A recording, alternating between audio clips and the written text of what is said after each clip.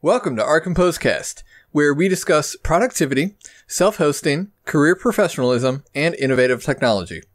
Here to bring you the latest from the open source ecosystem and beyond is yours truly, Andrew Cziryak, and with me is my co-host, Jack Moore. How you doing today, Jack? I'm doing well. I'm just hoping we can get a uh, better picture in this week than last. I was showing my uh, grumpy face, but I'm doing well over here. I'm doing a lot better than Facebook and Twitch are right now. How are you doing?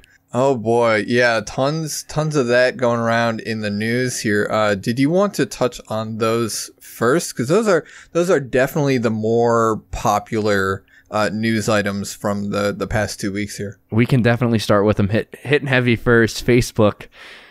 I think it was uh, after so Sunday night there was a whistleblower kind of going out and leaked I think a bunch of documents. You're gonna have to correct me on that. I, I'm not too familiar with what was leaked or what was said um, about the internals of Facebook.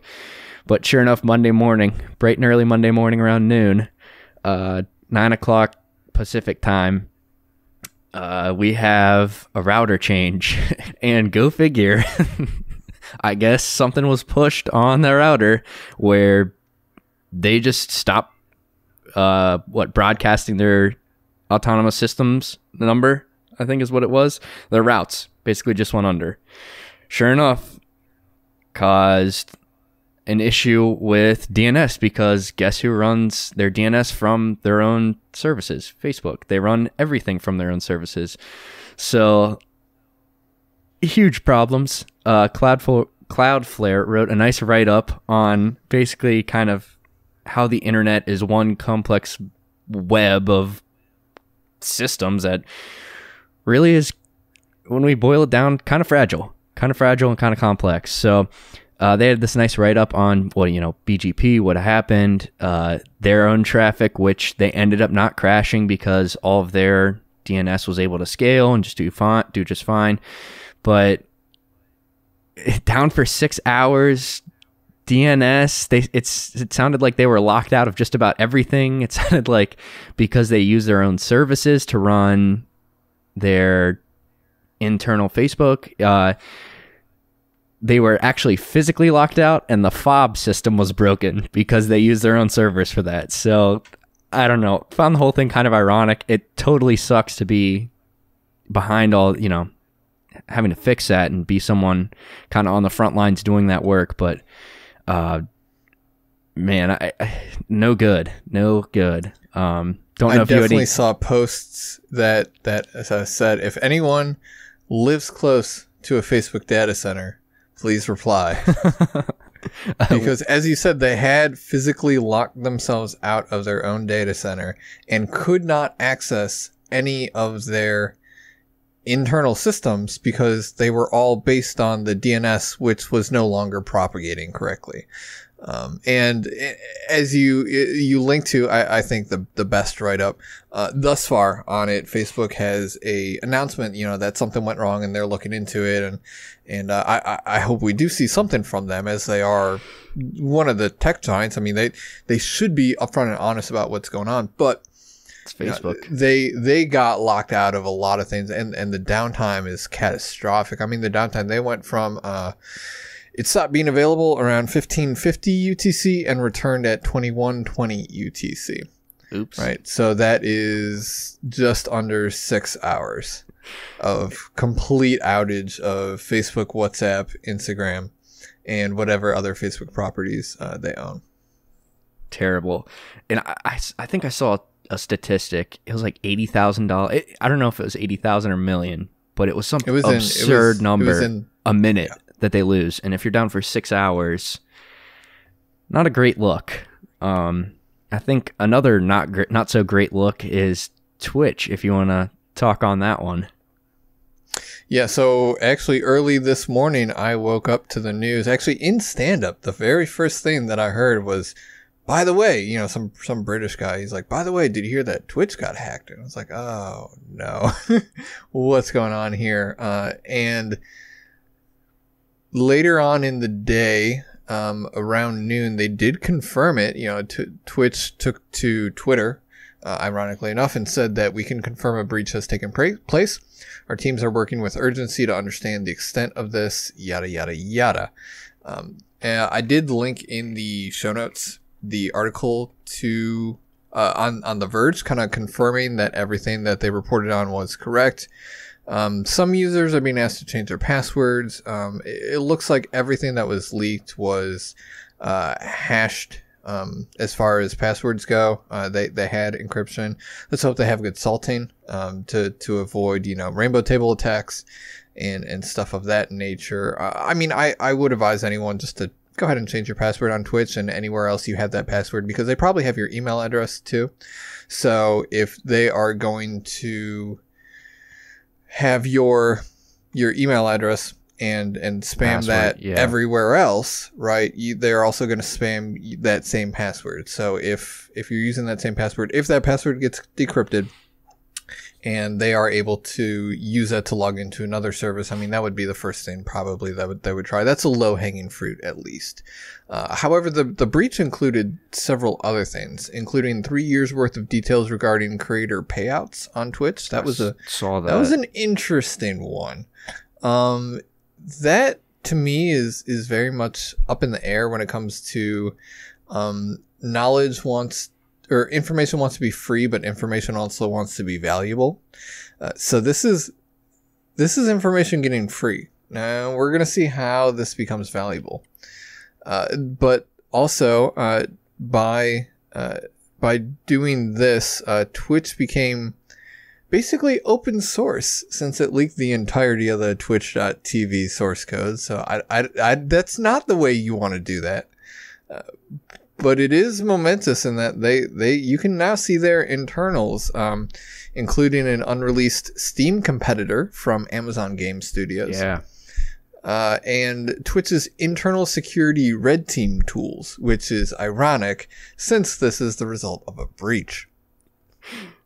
It was uh, those I found those pretty interesting. There was also one more I saw that I liked, which was I think it was a proprietary the way they a proprietary streaming um, I don't know if it was a protocol that was leaked, uh, but basically the way they format it's kind of like what RTMP, RTSP, the way they is it the way they encode it and decode it? I, I, I saw something in there. See that? I here, saw something in there about the way they. Um, I think it was their transcoding is how it's uh, it makes it so fast, basically.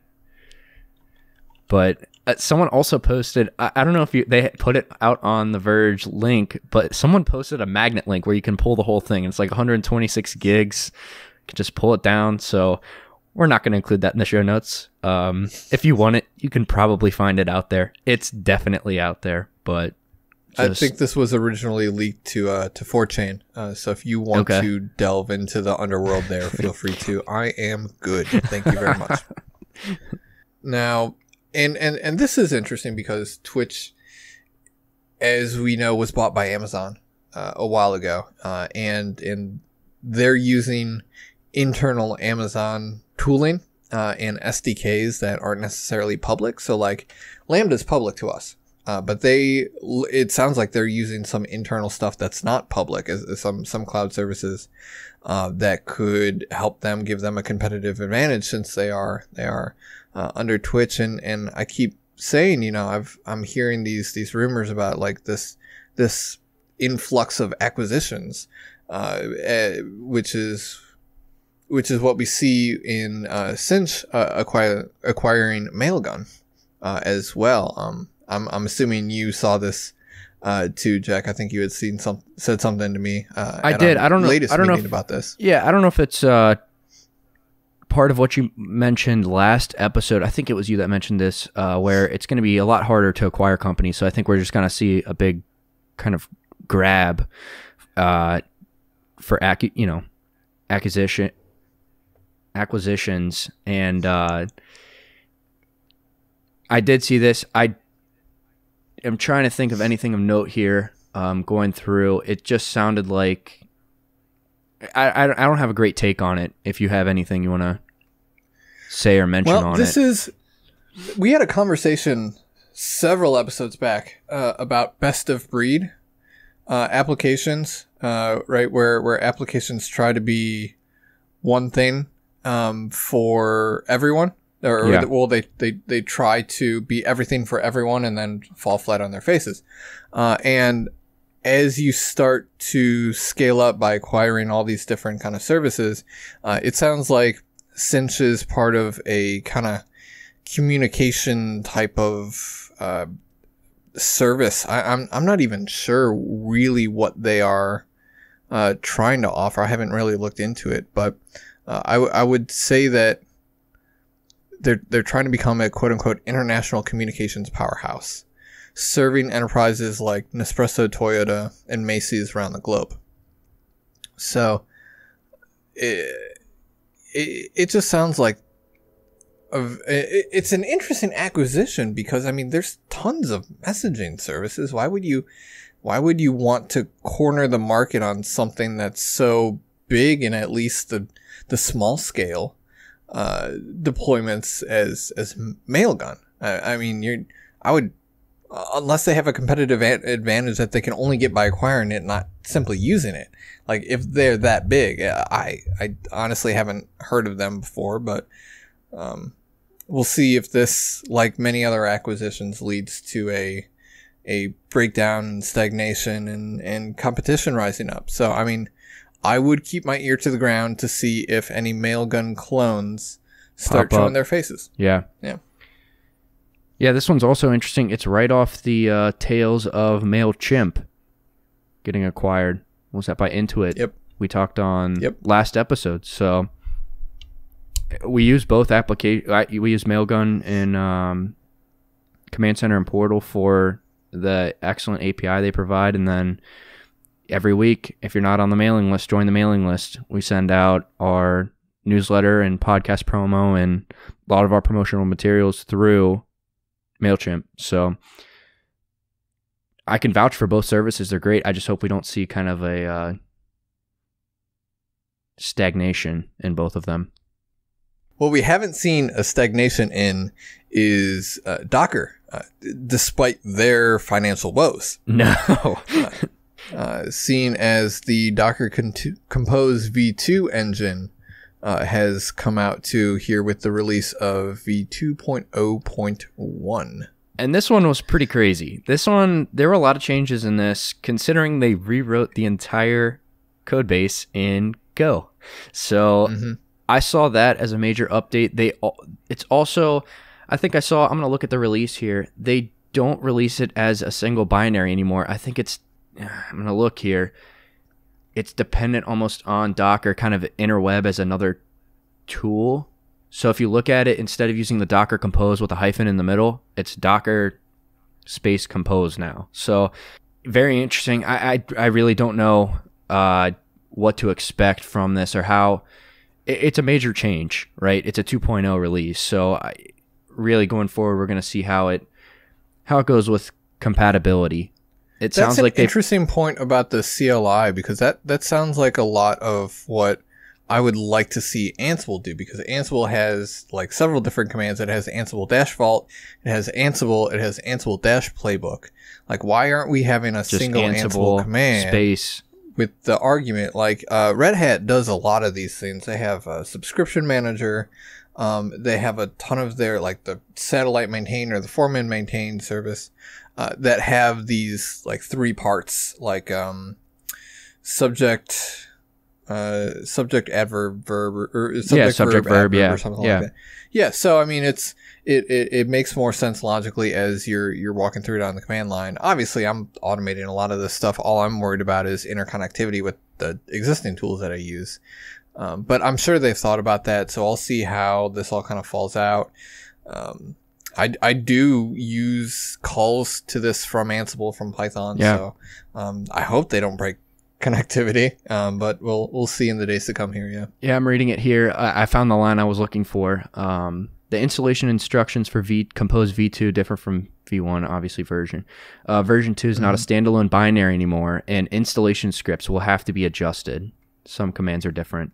And then they do provide a compose switch command to translate Docker compose commands into compose version 2's Docker compose. So I don't to be honest, I don't know how that's going to work or where I don't know if that just does like a fine check and then you know, replaces the hyphen with a space, but I don't know what to. We'll have to look into that one because I know we do use Docker Compose for standing up services. Or it'll be interesting to see how the maintainers go forward with this change. Yeah, uh, and we are standing up some new services. Uh, you and I have been working on on that, working on, uh, but I, th- I think we're gonna hold off on on that till next episode, till Okay. till this is all finalized, because I think I think we just kind of ran into some really dumb good luck. Uh, so I'm I'm I'm happy on on on getting everything kind of where it is.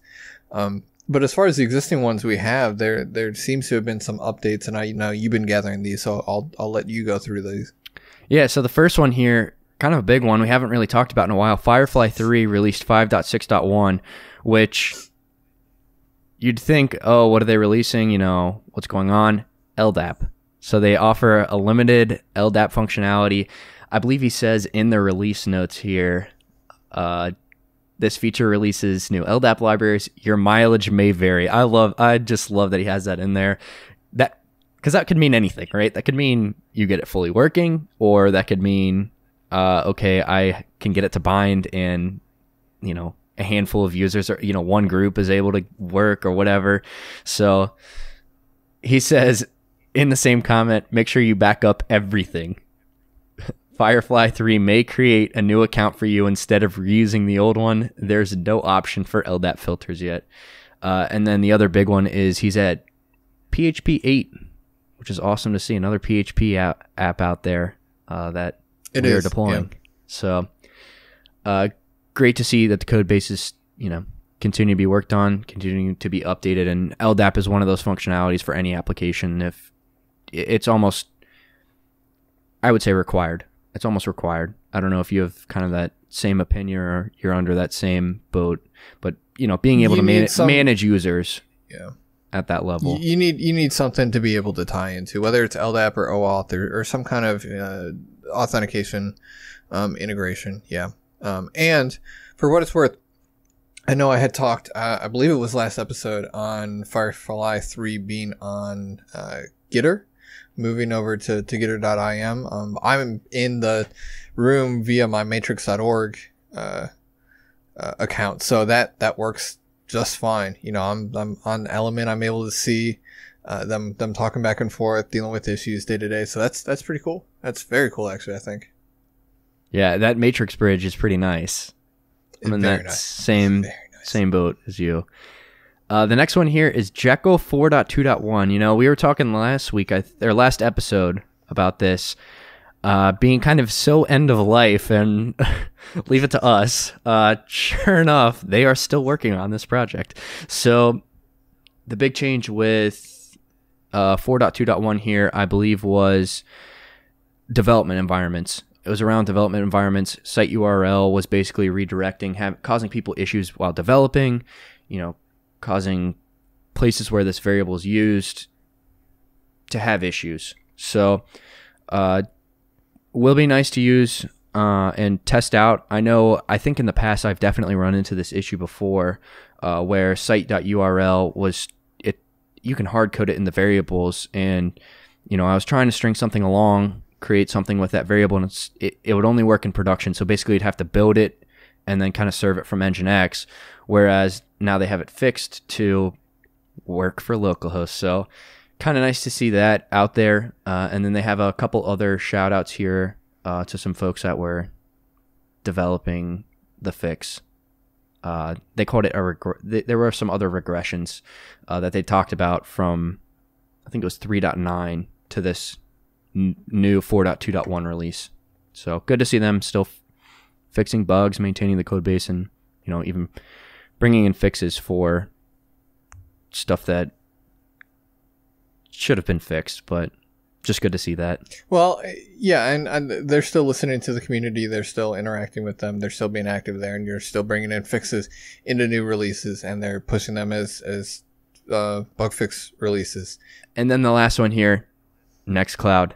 Uh, they introduce 22.2.0, 21.0.5, 21, 20.0.13, and then a new desktop client. To tell you what, I didn't go through this full release. Um, I didn't see anything major. It looks like the the biggest thing I saw was that users can now have multiple email addresses in in Nextcloud as context, and that and that with that you're able to look up people by their name or username, and then it shows those multiple addresses. So kind of a minor change, I would say. They also, you know, talked about 22 a little bit, moving to Hub and everything, and I didn't see anything mentioned about the new desktop client. Uh, I think there was transfers that were uh, updated. It says transfers incoming shares from one user to another when transferring file ownership. So that that was a big change right there. So you're able to trans- transfer file ownership um, to new users. But Nextcloud, never a dull moment. They're they're always moving forward uh, with development. Is what I'd say.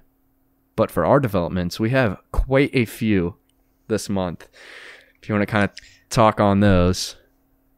Yeah, and the first one isn't necessarily a development, more so a, a fix that we had to do to work around some limitations on the infra- infrastructure that we use. Uh, so we use GitLab CI/CD, and they had an incident where their MTU was borked, or they had something going on with with uh, their what they routed through. Um, and there were several, what was it, clones or APK ads or stuff like that that were, were timing out? Yeah, it was uh, quite a few sites that were timing out. It was for Alpine, there were a couple Alpine images that were timing out on just getting the image itself. Um, running updates from within that image was having issues. And then the other one I, I saw specifically was Ruby Gems. So, yeah. kind of any dependency that needed to be pulled in with a request uh, was just having all kinds of issues. It would basically cause the job to time out. Mm-hmm. Yeah, and, and all the jobs were timing out at that point. So we changed the CI/CD to uh, change the MTU to be 1440, uh, which Jack found and, and, implemented pretty quickly. So everything was was building again. Um, so that was I linked to the portal one uh, but that was across several of our repos. We just added that in because we use CI/CD for for several of our projects. Um, because what we were doing is we were trying to test uh, streaming input from Rundeck data. Uh, so to to bring this feature parity to what we are doing with the commands receivable socket and what we're doing with the uh, the you know running stuff on localhost and, and streaming the output. We also wanted to stream stuff from Rundeck because Rundeck's running the same thing, getting the same output, but we are only getting it once the entirety of the job is completed. We Right. want it now rather than than waiting on it. And uh, Jack was able to to put together some logic to. Uh, to basically grab everything that has been created since we last grabbed it, and then just keep doing that until it right.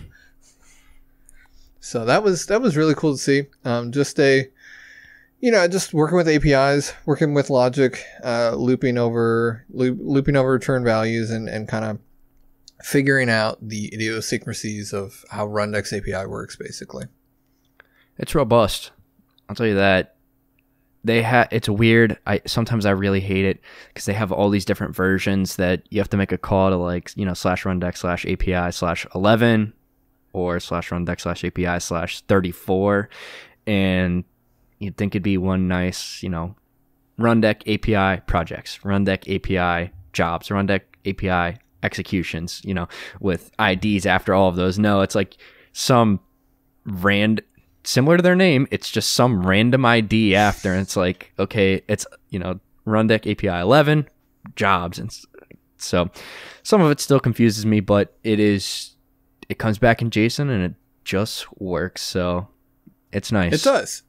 That's all I need. It does, Yep. uh, and and it it stays consistent. You you get a heads up as to when stuff gets deprecated, and and it's it's fairly like you said, it's it's robust. Speaking of robust, we're, I think we're making our way towards it with being able to run We our, are, our, in- compose in- on in a- localhost. Yeah. Yeah, in a way that won't require Rundeck. It, it it will be enhanced by Ru- Rundeck, but won't be necessarily required by it. So we are currently uh, running our compose instances on uh, localhost is what we initially had set up for a goal. and that kind of morphed into let's run on anything that doesn't have any of our custom setup on it. So like if, if you had uh, root access to a server uh, and you have Ansible set up somewhere, how would you use the OurCompose collection to set up an instance for your own self? Uh, and, and really, could you do that? Um, so before this, the answer was no. you, you, you could not. There were some things that were coded in there that would uh, be expecting a specific directory structure to be set up or would be expecting one of the variables outside of the role to, to be present. So everything that was tech debt, uh, I mean, it, it, it really was because, because this obviously being our ultimate goal, right? To put out a, to publish a collection that, that anyone could run you couldn't run it unless you had, you know, the, the specified, you know, the secret sauce. So I was like, well, that's not right. Let's, let's kind of, let's clean it up. And, and really that's what it turned into, just a, a big cleanup, uh, project. So, so I cleaned up, um, our, our project to be able to call our collection, uh, which had been updated. And then Portal had a couple of fixes in there as well that needed to get applied. Um, just kind of some some work like i said we're working under some uh, technical debt assumptions uh, that we need to clean up, get ourselves a little bit more robust, and be able to uh, to work in in all kinds of situations. Uh, as part of that, I have written up a quick start section in the README of the documentation. So it goes through what is it? Um, eight steps with one optional, uh, going from a blank VM uh, I don't go over like how to set up like SSH keys or get Ansible installed Sure, on yeah. on your own computer, but like the rest of it, how to install the requirements, uh, what playbook to create, um, optionally specifying the services you want to run, and then ultimately running the playbook against the host. Uh, that is all spelled out in our uh, in in the start of the README and in the in the quick start. So uh, I was, and actually, Jack, you pushed me towards towards writing up that quick start too. I hadn't even thought about that myself, but I was like, absolutely, and you know, that's that's one of the first things I, I look for. Uh, you know, how do I get started on this?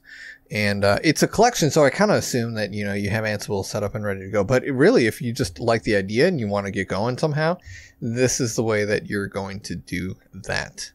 So that was pretty cool. I was I was happy. I was really happy to get that because that is something I think we've had a goal for the last two quarters to get to that point. Uh, so it it finally kind of came. Uh, Yeah. emerged out of of what we were doing. All of the the the stuff we've been slogging through with with Portal and Python and um, the all these Docker containers and, and and everything, trying to get all this set up, uh, really kind of all came together uh, with just really a a minimal amount of cleanup uh, to be done on the actual collection itself, and and now you know we can have. Um, basically just a, a, a vanilla instance um, it's it's not amazing um, you know there's a lot of security holes deploying it like that as you know Sure. you would expect um, for instance all the passwords are test password. Um, to all of the services and the root database password is is also that. It doesn't set the root password of the server to to test password luckily. Um, but everything else is is basically insecure by default. So uh, we can we can go about looking to to fix that but that's adding complexity on top of it. I just wanted a really easy way to get get going and say you know, if I wanted to have the most minimal playbook, and, and if you look in the quick start, it really is. The, the playbook is literally call the role and optionally specify the services that you, you want to have in your instance. And then you're off to the races. Yeah, not to cheap out, but isn't it four or five lines? Four Yeah. lines because it in- include it just includes the Galaxy repo and just Yep. off and running, Yep. which is awesome. I, I, I'm excited about that. Yeah. Um, and, and in the documentation too, I do point out, uh, all the passwords that should be updated, how to do that, how to put it in a vault, how to, you know, uh, the, the whole nine yards. So this shouldn't be like a surprise to anyone or, you know, and, and, and this shouldn't be too difficult for someone to figure out who wants to deploy it. Uh, what other variables do I need to set, right? And then it's at your discretion how you want to set them. I mean, we have a way of doing that. We use uh, a pluggable environment, uh, kind of subdirectory uh, sub repo type thing, and it works amazing for us. I, I, I could not have asked for, for a better system uh, to be set up, but I want to make sure that whoever picks this up uh, has the ability to create something better, something that I wouldn't have thought of. So I'm just gonna I'm gonna leave it as is for now. It's it's working, uh, and hopefully we can use the next quarter. And, and you and I are going to be talking about this uh, coming up shortly here, but you know we're going to use the next quarter to do something with that. What it is, I'm I, I don't know yet, but we have this momentum. I I am Yeah. certainly not going to let it die. Yeah. Uh, the title for, for this episode is Decking Unemployment. Um, and that's a very bad pun.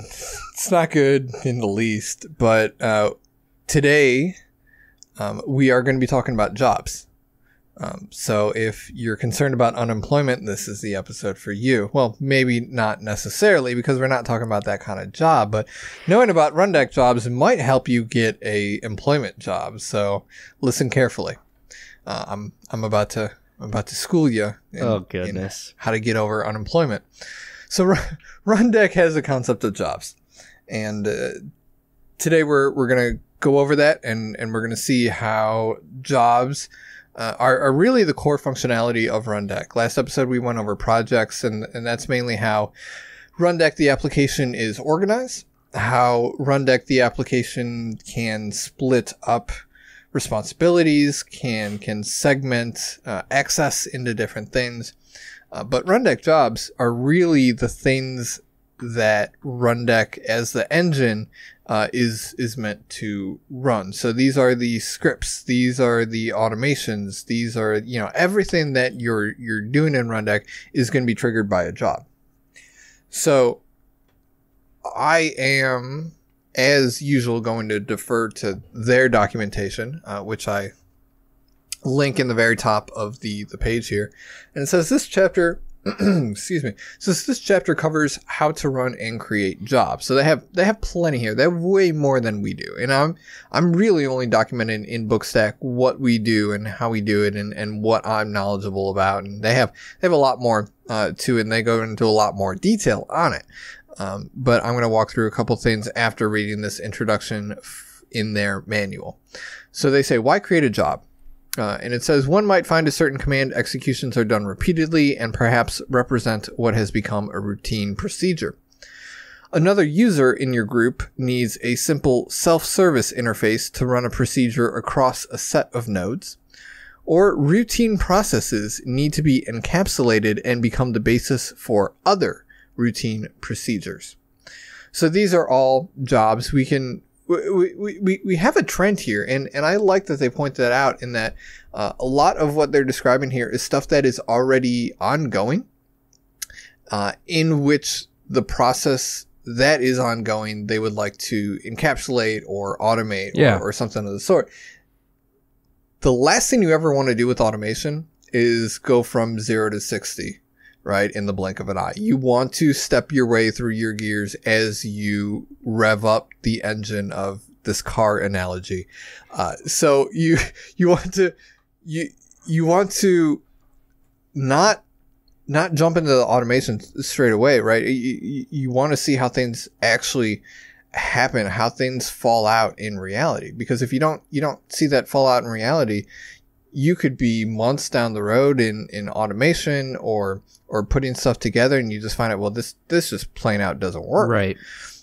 um, and by doing that manually the, at least the first couple times you can say all right this is kind of a sustainable process especially if you you do it looking you know forward looking towards you know i would like to automate this in the future how can i you know what are the things i need to uh, to uh, extract right uh, and what is some of the variation that i can kind of take take out of this and i can say well it's always going to be named this way and we're just going to do it that way. Because not just because i say so or because you know i'm a, I'm a tyrant but because that is what is going to enable us to automate this is is by standardizing uh, what we do routinely right? And instead of it becoming you know a a a, a craft or becoming a a bespoke uh, method each and every time that you know one person is responsible for. Right. You know, make it something that's repeatable, um, and that you do over and over again, and and multiple people do over and over again to kind of uh, check. You know what your assumptions, right? So you can get that feedback, and then I think at that point you have a good solid foundation to look into something like Rundeck jobs and say, how can we encapsulate this routine process? Um, how can we uh, put this routine job uh, into some kind of automation, right? So that being a long-winded explanation as to what jobs are, where can we find them? Uh, so the jobs link uh, is on the left-hand column uh, and that will take us to a listing of all the jobs in the project, right? So, so inside of a project live all of the jobs. Uh, from there, all the runnable jobs are displayed in alphabetical order in their job group. And uh, I have a picture in the documentation here that highlights uh, where the link to the project jobs are, where the link to the project groups are, and the runnable jobs themselves. Uh, it's it's just easier to think about job groups as folders and runnable jobs as files, right? I mean, that's that's what you're going to be looking at. You're going to be looking at what essentially looks like a file system with folders and and jobs inside of those folders. Uh, note that if you don't have a folder, they're going to be displayed at the bottom underneath all of the job groups. So you don't have to have job groups. You don't have to have those folders, but they do come in handy if you want to organize what you're doing. Uh, now, to create a new job, uh, at the, the top right under job actions, uh, there's an option to add a new job. And, and that really only requires two things. It requires a job name and it requires something to do. Uh, it requires a step in the workflow. I love it. Yeah. Uh, okay. So I, quick anecdote here. Uh, when I was testing out actually the commit for uh, streaming input from run put, Rundeck data, what I wanted to do, I didn't want to run any of our production infrastructure changes or jobs on this instance because I knew it would basically either send it back to a state I didn't want it or it would send it to a new state where it's just completely wiped the stuff, completely wiped the instance, or it would delete the instance or what have you. So what I did, I went in, I created a job, and the job was one. It was a one-liner. It was a for loop or a while loop. It was a bash do while that ran, I think, hundred times, and it slept five seconds. So nice, something easy, something quick. But it was when you talk about a definition, a job definition, it can be one line. It can be echo hello. So yeah, everything else besides that, uh, like I say, is is optional. Strongly suggested. Totally. But optional nonetheless. Uh, so as as we go through Rundeck, I mean, this is a very very complicated piece of software. Uh, so we're we're trying to break it up as as best we can. Uh, so the the rest of this documentation here is when you're creating a job or going in to edit a job, what are the sections that you're going to come across? Uh, so the keeping in mind that that's how we uh, break this down. I have one, two, three, four, five, six uh, sections to go over here. Uh, we're going to obviously spend the most on workflow and the actual meat and potatoes of it, but we've yeah. got a, a, couple other things to, to cover as well. So the first uh, tab when you go to edit a job is the job details itself. Uh, this is fairly simple. This is the job name, job group, and job description. So job name shows up on the main jobs page. The job group uh, are those sections on the main jobs page, like the folders, like we were talking about. And then the description actually does show up on that front page too, as, as small text uh, under any given job uh, on that on that jobs page. Uh, now the job group does have the ability to browse any existing job groups that you have. Uh, if you want to create a new job group, you literally just put in any name that you want and it will be created for you. Uh, and then it will also be an option going forward for all of the new jobs or all the uh, other jobs if you go and edit them uh, to choose that group as well. Uh, so it's pretty freeform. I had to figure out, you know, I d- I don't have to create one beforehand. I can literally just, just create one the, as I create that job. Yeah. Uh, and then the next thing we want to go into, and this is probably going to take the rest of my time here, but the the workflow, right? Uh, so job workflows, uh, the job's most basic feature is its ability to execute one or more steps. The sequence of steps is called a workflow. The steps of the job's workflow are displayed when viewing a job's detail from the job listing or within the job editor form. So as we're, we're talking through going to the job editor form, we're going to talk about the workflow here. There are several notable sections to the workflow.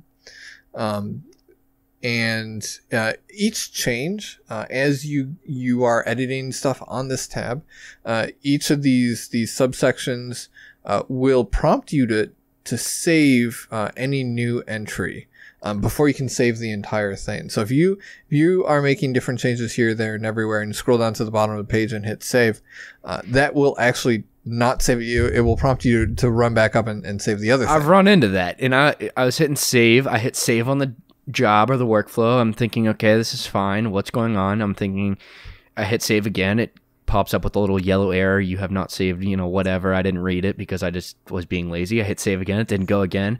Like, what is going on here? I undo all my changes. I hit save. It doesn't go. I hit cancel. I'm thinking, all right, what's going on with this workflow? What the heck's the problem?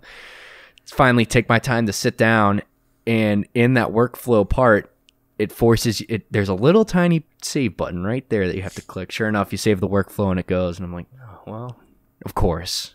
So so that that is yes required as as you have found out. Uh, but it i don't know how they do it. You, you said before that Rundeck feels like a UI that's been wrapped around an API that's been programmed. Yeah.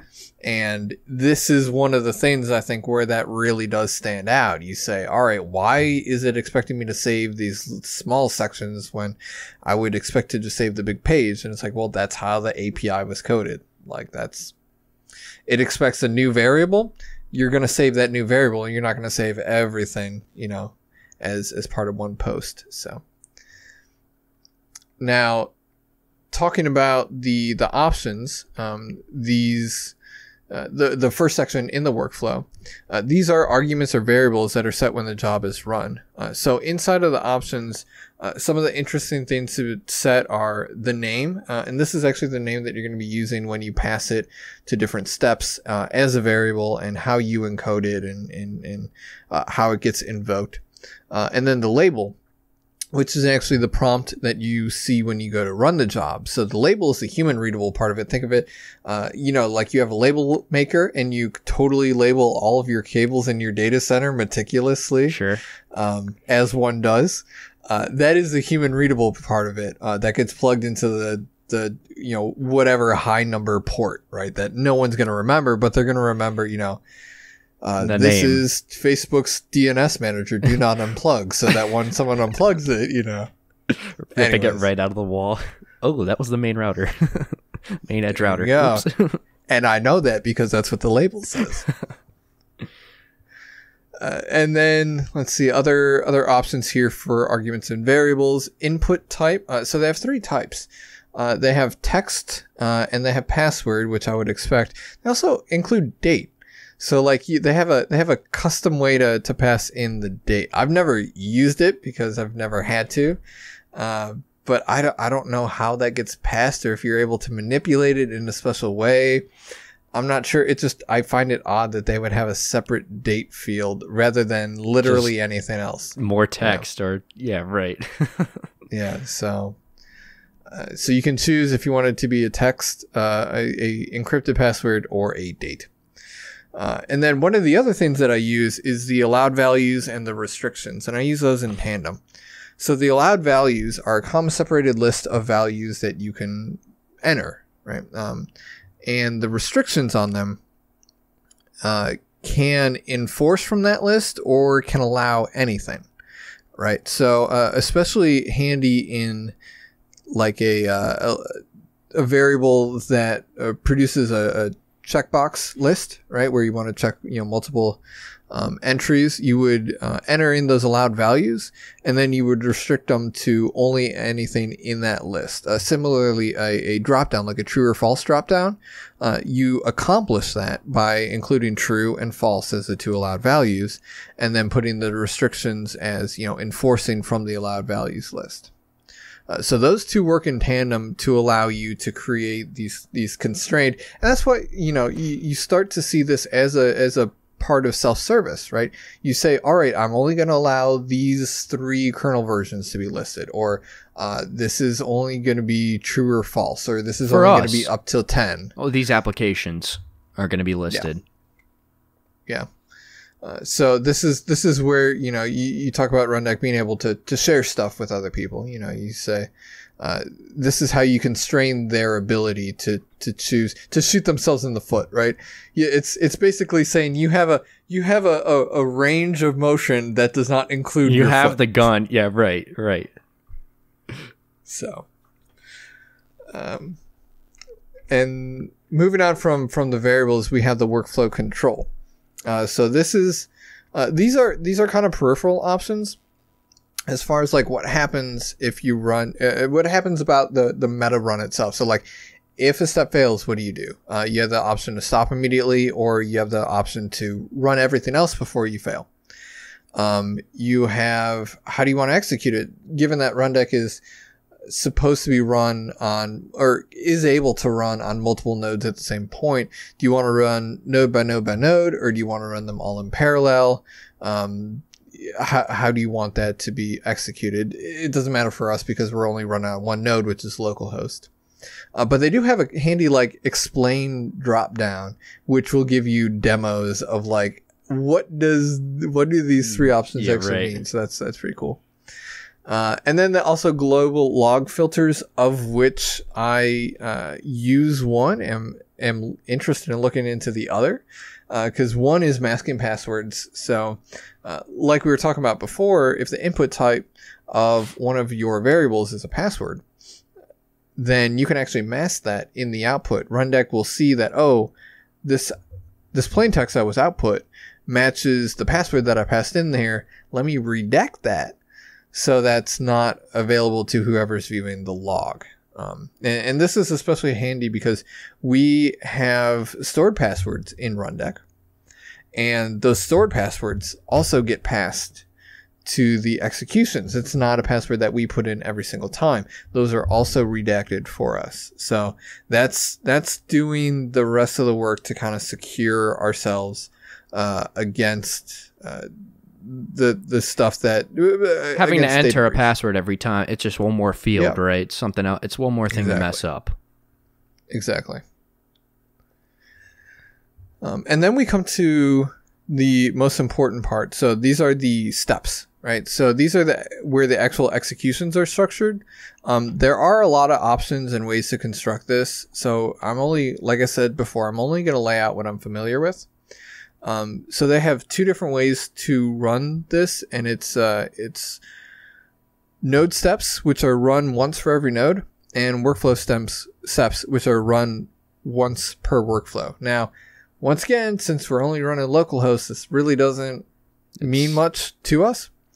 Um, but the node steps uh, include a script, uh, like being able to run a shell script, uh, if if we had that, um, and also a command. So that's running a command from the command line. Now that is ninety percent of what we're doing here is is running commands.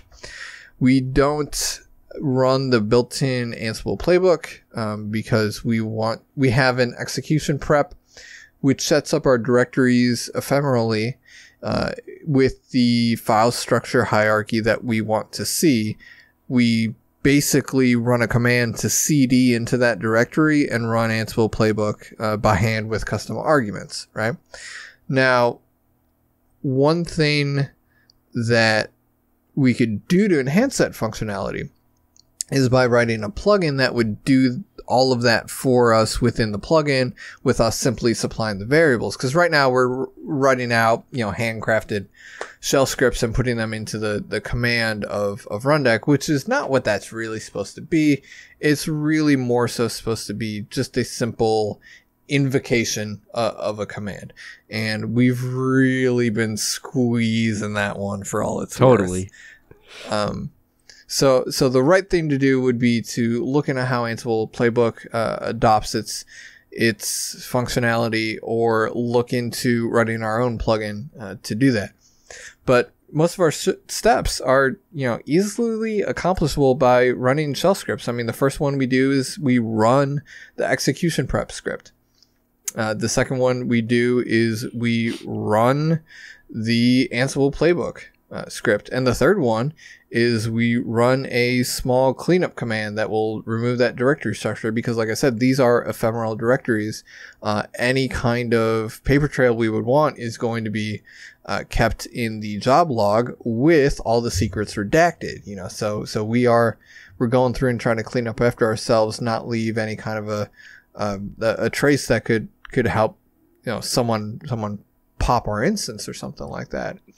Um, so definitely something you know we're, we're trying to be security minded about this uh, and as much as I, I rag on us for, for doing it, you know, the, the dirty way, it gets exactly done what we need it to get done. Uh, and, and no more. That's the good job of any tool, right? It does what we need it to do. We use it the way we use it the way they provide it to us. How about that? I, I won't say we use it as intended because I know they, they, uh, it seems like a big tool for going out to nodes and then running scripts on nodes, whereas we just, we're running this thing locally on the box that Rundeck's on, and we're going to do what we need to do with Ansible. I mean, I've said it once and I'll say it again, but you know, we use this as as a replacement for hands-on keyboard. Yeah. Right? This is our automation front end, right? If I have to, if I have to run, you know, five different commands over and over and over again, well, no, I don't because I've already It's automated, automated. it. No. Yep. Yeah. It's automated. So this is this is a, a replacement for that, and it's so easy to simply throw in a um, a command, you know, exactly how I would be typing it in, you know, and, and, and variabilizing what I can. When it gets to a point where it, it does become too wieldy, right? Or uh, one of the other things I was thinking about is where it would require like a massive change across all of the uh, all of the nodes. At that point, that may be uh, functionality to say, hey, can we write a plugin that would abstract all of this for us? Right. Right. and then we just run that. Um, so so something to something to consider. But I mean, we we're not running into that yet. We we've got other things that we want to get done. On the plate. Yeah. Right. Plenty of other things uh, for for us to do in our time. Uh, so with the remaining five minutes, uh, I'm going to run over the other four uh, sections here, but I wanted Yeah. to to uh, quickly stop and, and see if you had any any input on that or any questions. No, I think we talked about it already. The hand, you know, we use it the way it's intended. Maybe not the way it's intended, but it fits our case, right? It does what we Yeah. want it to do and need it to do. That's all I had. That's really all I had. Exactly. So, uh, as I said before, uh, we run locally on our nodes. Um, so there is an, a whole section about nodes and, and about how to do that. And I'm going to skip that entirely because literally we only run on a local host and it works just fine for us. Uh, the next is a schedule, which we actually talked about, I believe, last uh, last episode. But you're able to uh, run it repeated, repeatedly, um, and you're also able to enable scheduling and enable execution entirely. Um, so you can actually disable execution um, by by that logic. You can actually disable execution of a job and still have it present, right? You could just say this isn't going to be run right now. Now, where that would come in handy, I think we were talking about this, but um, if you wanted to put something in maintenance mode, you got to say, I want to disable any future runs of this for the next two days, right? You would you would disable that execution, do what you have to do, and then re-enable the execution. Um, so that's where I could see that coming in handy. Uh, next section, uh, I really don't use, so I, I copied the link to the documentation from Rundeck about this.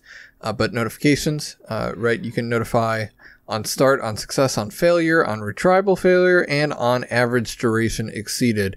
And Lord help me if I notify on average duration exceeded because that is a shot in the dark by Rundeck. But It's so av- well. It's average duration is not. It's it's a terrible metric. It- why aren't percentiles It used? I, I could go on. I can go on and on about you know your 99th, your 95th percentiles are going to show you much so much more than oh this is the average duration. Well, that doesn't mean that doesn't mean anything to me. What? Why? Like Yeah. I don't care. Fine, fine. It takes Well, five and- minutes on average. What a- happens until you know the job that goes two hours? It's like well, that just blew the average out of the wall. You know, the average out. But Yeah, it- I, I had a I had a talk. Uh, I think it was at two years ago at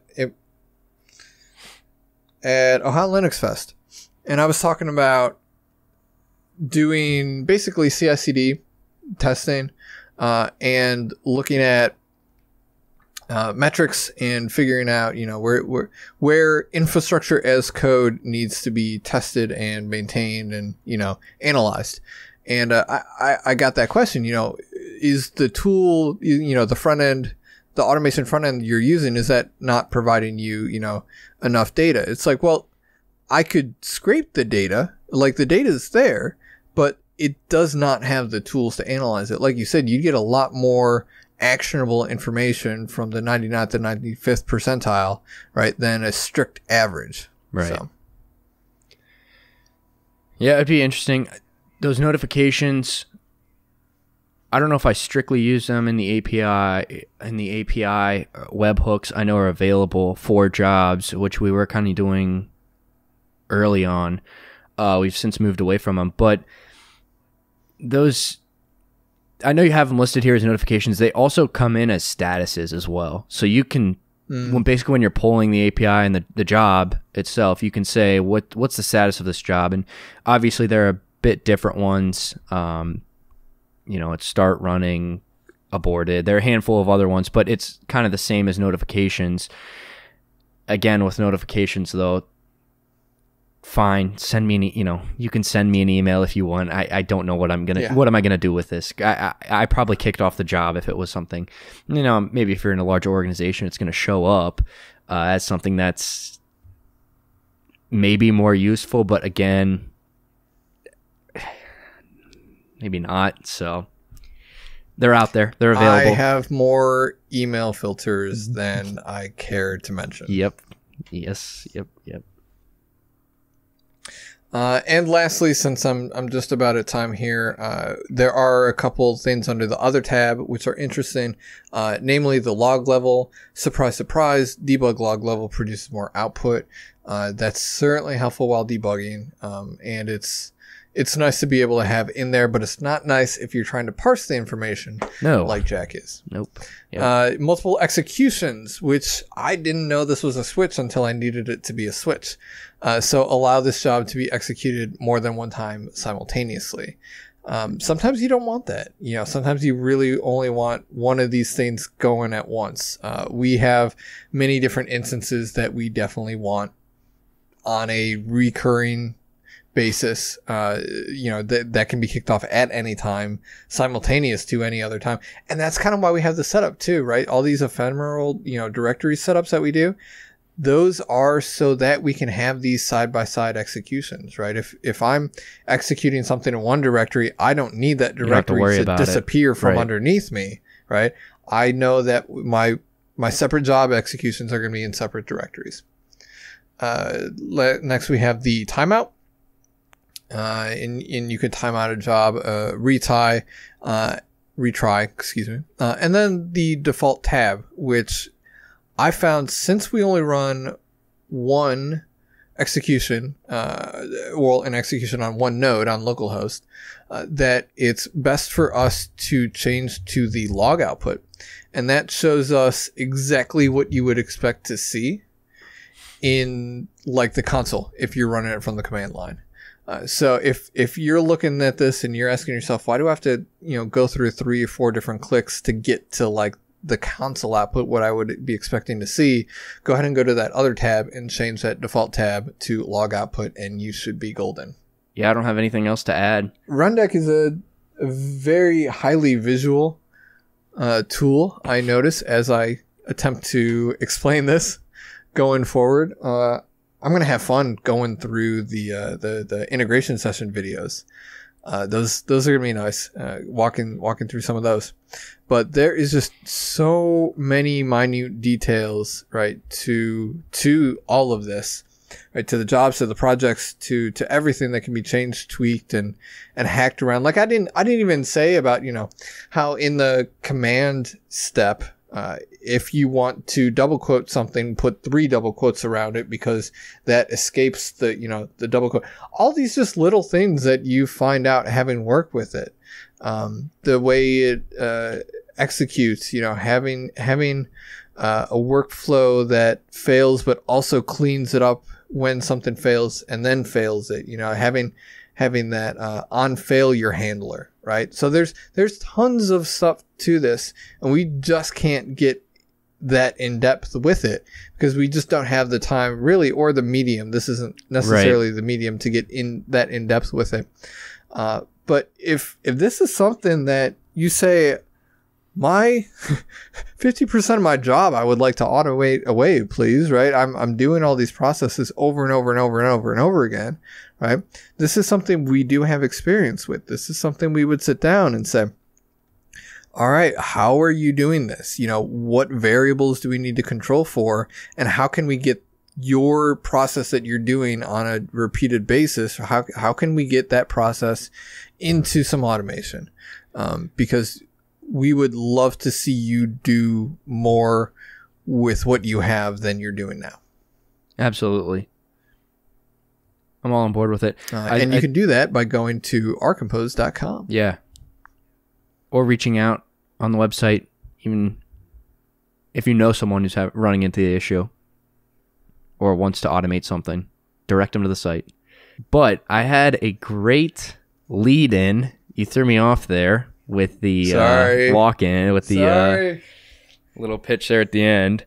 Um, but I don't know, Andrew. I I think if would you say you need Oz at the end? You got to walk down the yellow brick road for automation. I would say you don't. You don't have to. You're not going to have to. It's always it's been right in front of you. You've got the golden shoes on. All you have to do is click them together and I think we're here You've to. Got the I think we're here to tell. you got your automation shoes I'm on. So confused. You just got to click them together. So Wizard of Oz.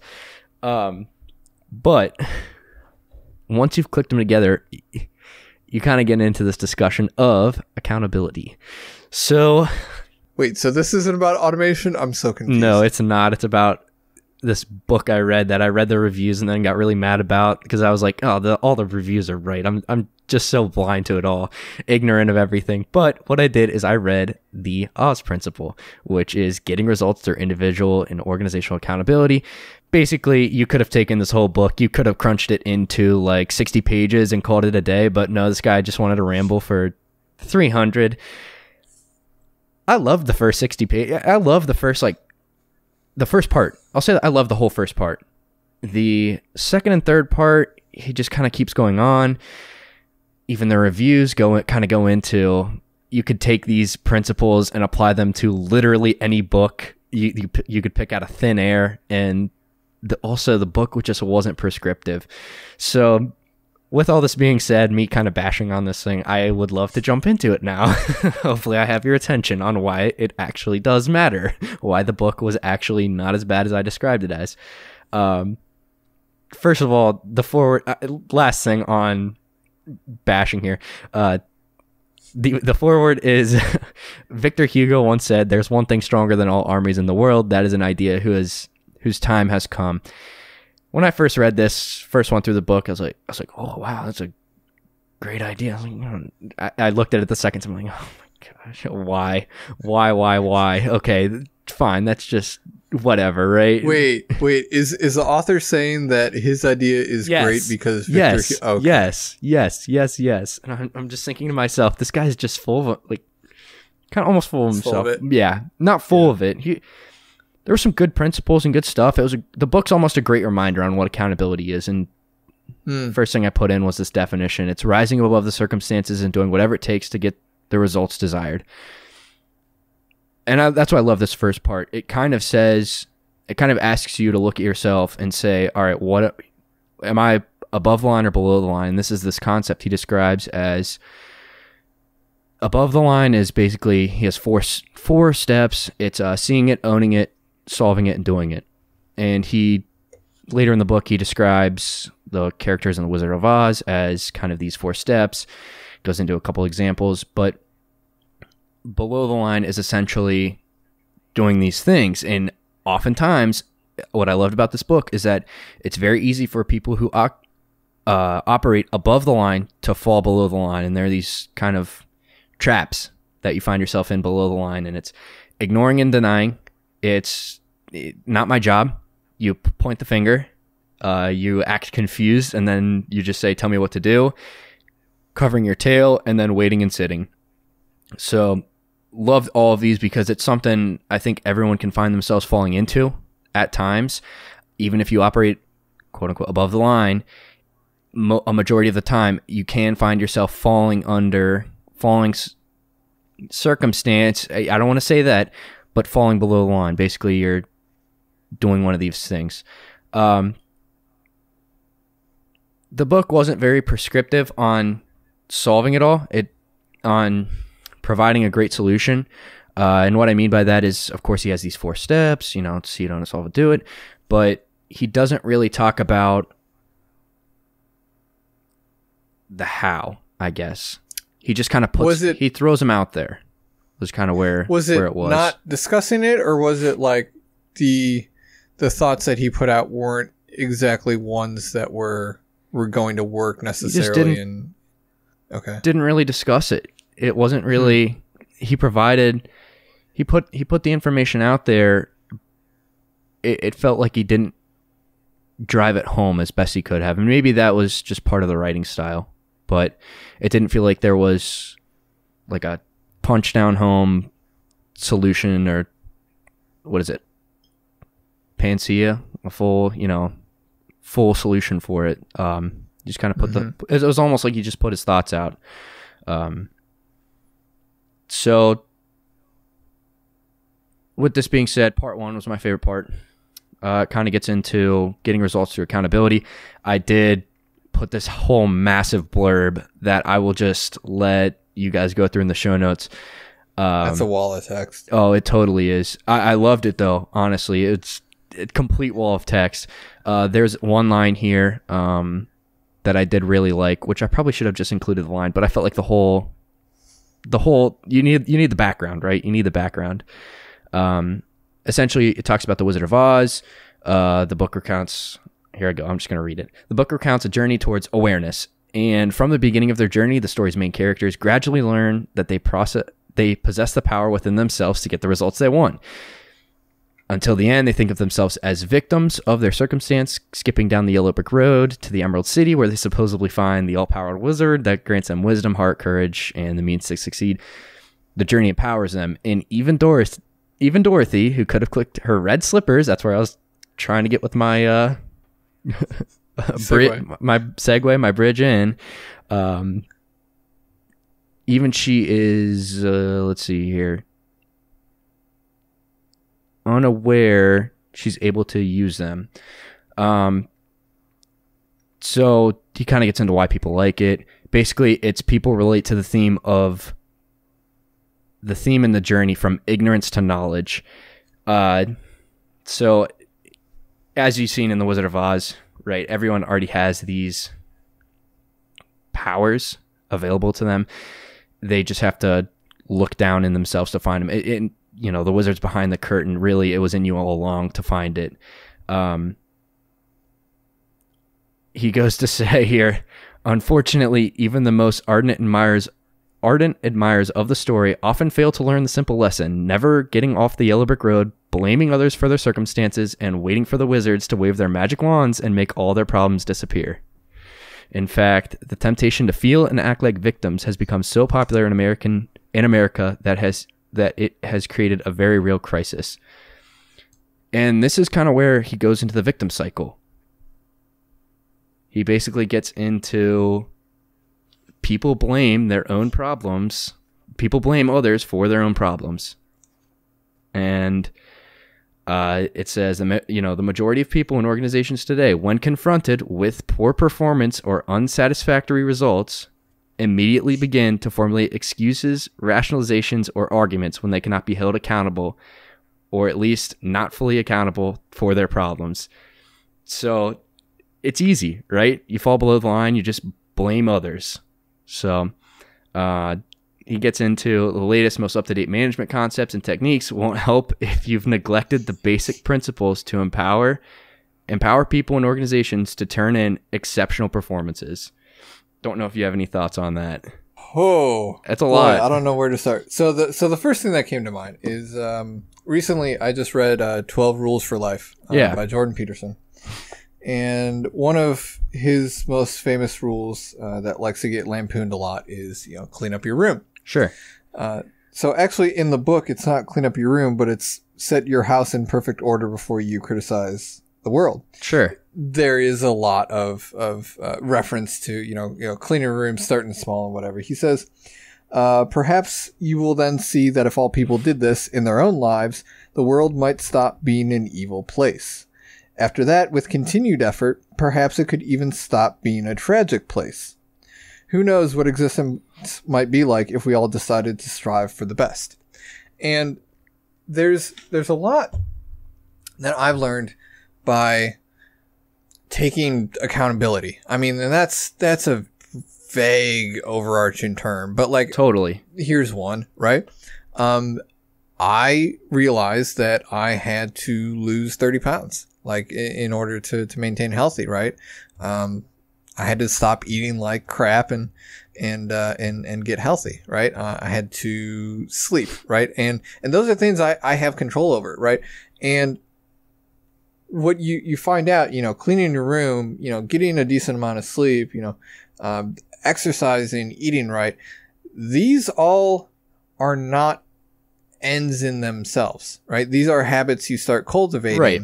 Right? And you start cultivating the discipline that goes along with those habits.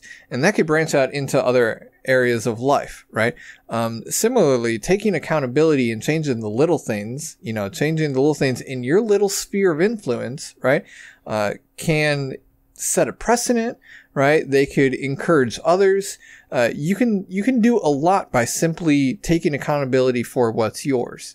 Um, one of the things in the Wizard of Oz that people get distracted with is they see this this entire world and everything that's wrong in this world, like the, the evil trees in the forest that are throwing apples at Dorothy.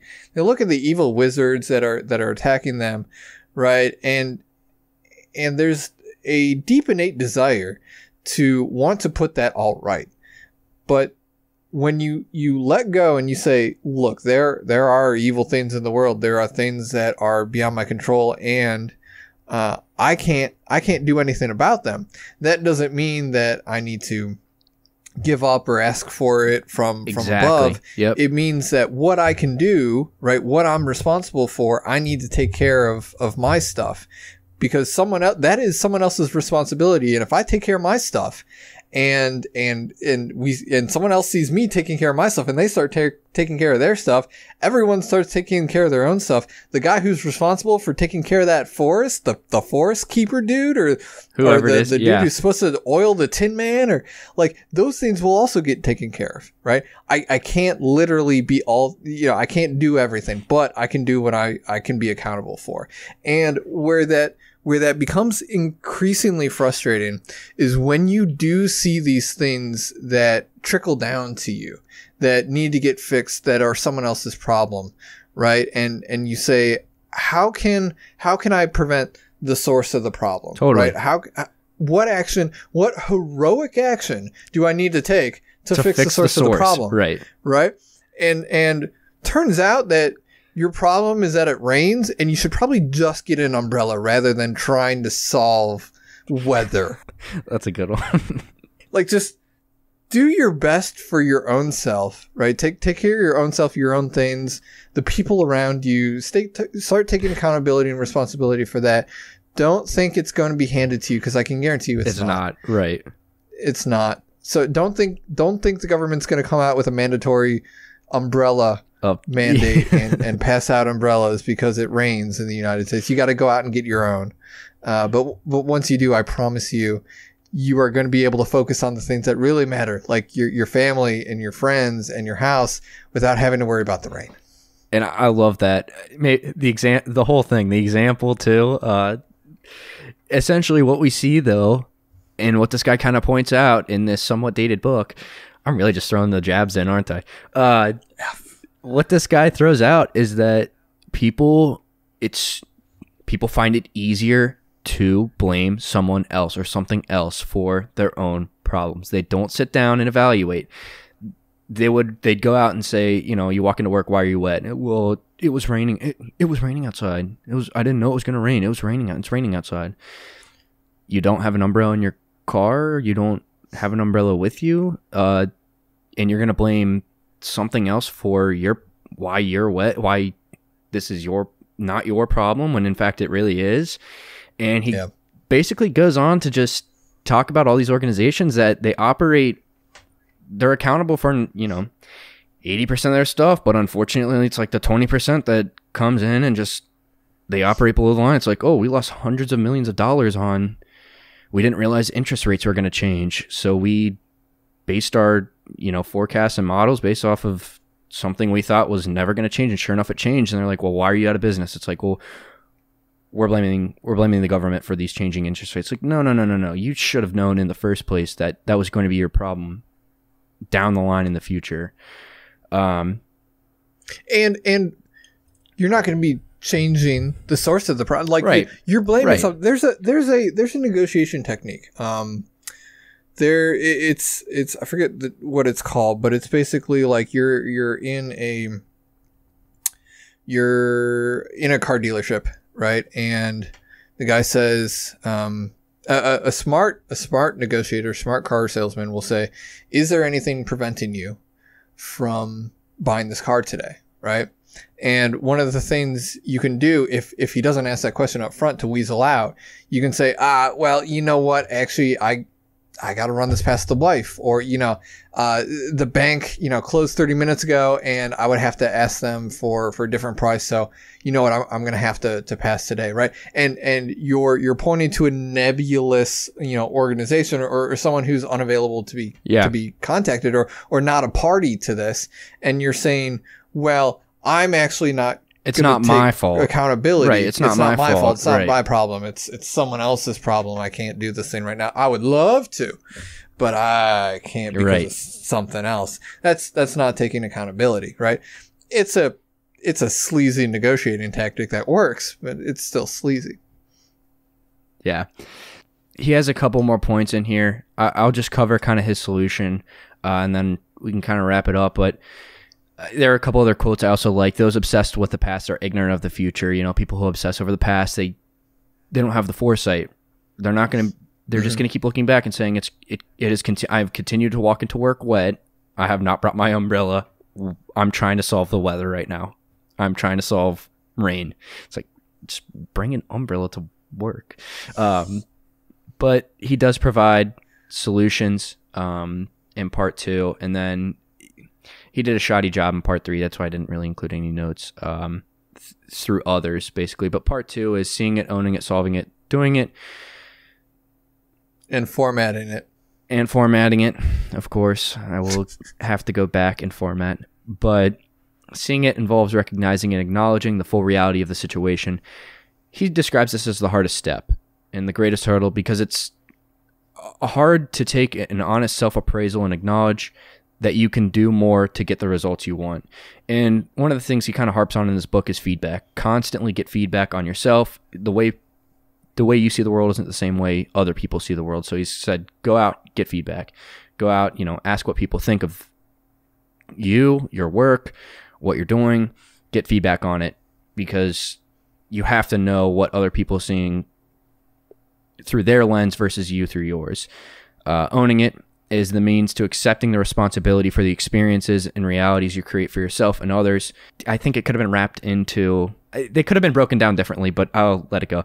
Owning it, obviously you have to own you take you, you, you accountability is 50% ownership, right? You have to take ownership. You're not you're never going to become accountable if you don't own it. You can just point something out every day and say, "Oh, well, I don't have to worry about, you know, don't have to worry about it." Um, so you have to own it.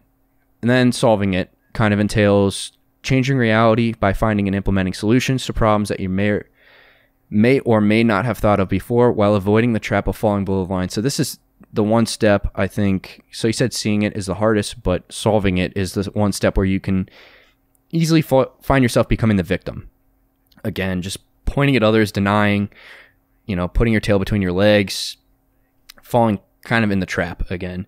And then doing it entails mustering the commitment and courage to follow through with the solutions you've identified, even if the solutions involve a lot of risk, which I love because if you've solved it in a way, it, it I'm not a very, I'm, I'd say I'm pretty risk averse.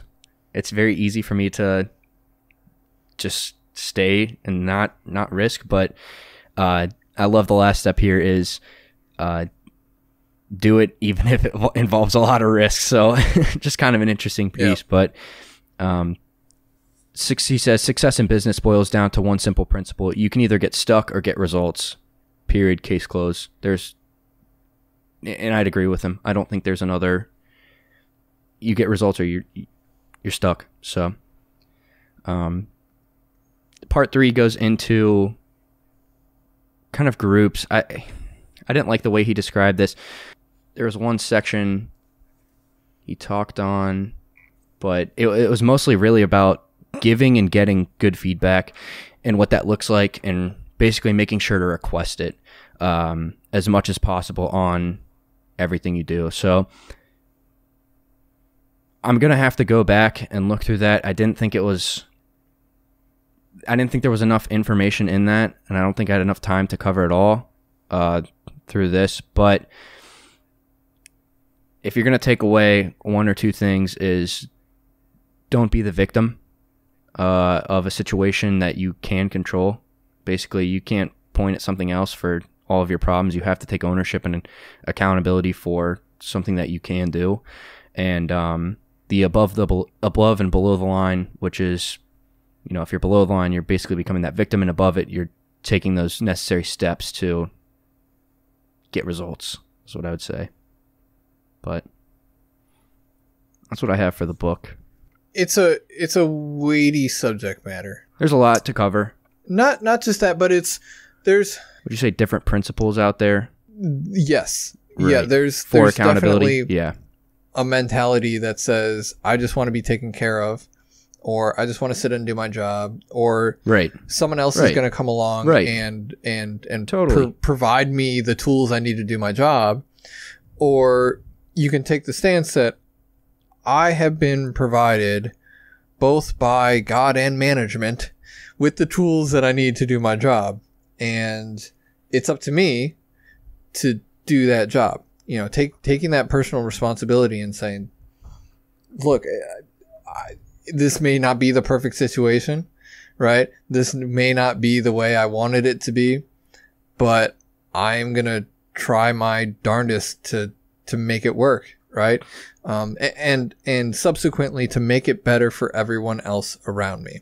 that is ultimately what you want to keep in mind. You want to you want to keep in mind the the fact that you know this is you're not serving anyone by complaining, right? You're not you're not doing anything right. by putting the putting putting the blame shifting the blame on on someone else. I mean, it's you know ignoring and denying, you know, finger pointing, um, covering your tail, right? You're you're just saying, hey, it's it's not my fault. You're not taking responsibility, right?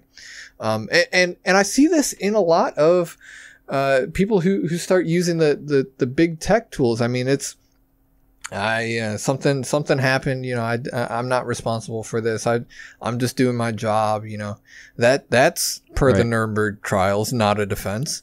But we, we we as a society recognize that it's it's time to to take personal responsibility, right? And eh, especially as we, you know, start forming into these these communities, right? Communities won't take people who who are, are, are toxic like this right and and that's what this turns into right you you turn into either a toxic workplace or toxic friendship.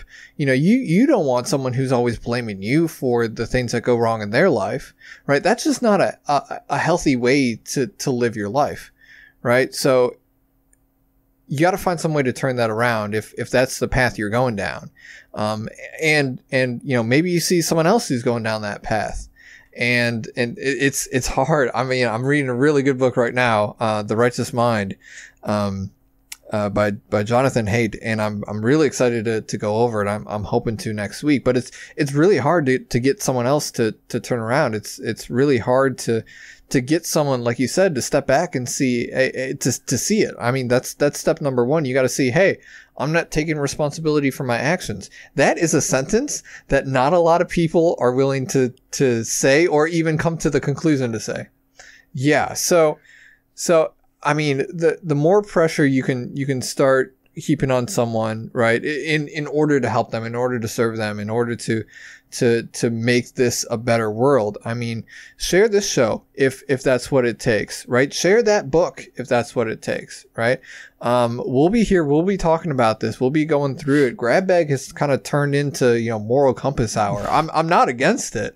I like it. Uh, you know, I think there's a lot of soft skills in tech that are, are missing, honestly.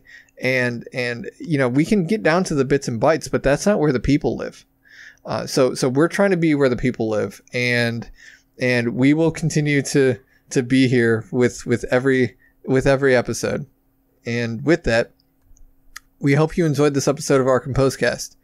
Thank you. Be safe, and we'll see you all in two weeks. Bye, everybody.